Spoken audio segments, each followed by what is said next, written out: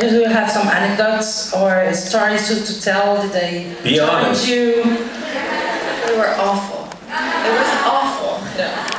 They were, everybody was really cool. I already knew everybody, so I was actually very nervous because I knew everybody almost so well that I, I was a little nervous to go into a working situation with everybody. But, you know, minus Paul, everybody was really nice to me. You know, I mean, you know, they only played a few practical jokes on me, messed up my lines, pushed me in the hallway. You know, the regular. You're off the show, that's it. No, everybody was really nice. It's a really nice cast, you know.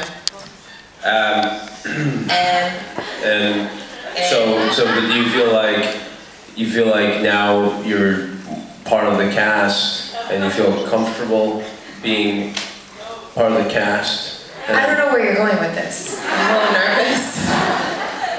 Am I still mean to you? Come on! I've gotten better. It's terrible. Gotten better. Puts things in my food.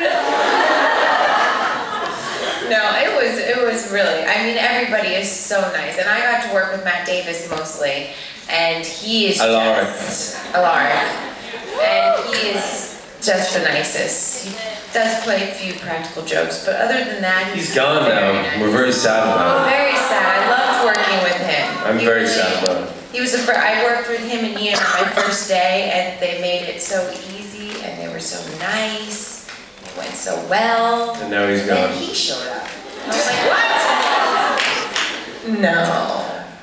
But I'm gonna miss Matt Davis a lot. He has his own show now, so you guys can watch him on his New own show. show. Not cult, yeah. But I, I think Alaric was definitely one of the.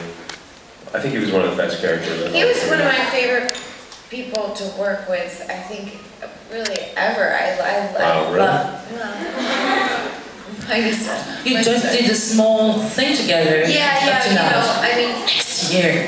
he, you really We should worked probably well learn more in that one moment. Yeah, you're the master. In that one moment, He came into the bathroom, busted open the door. I was like, I could learn something here. This is truly, I you felt the presence of greatness I enter did, the room. I did, I did, I did. No, but Matt Davis is amazing too. Yeah. Donc elle, elle, euh, connaissait tout le monde euh, de l'équipe avant de commencer.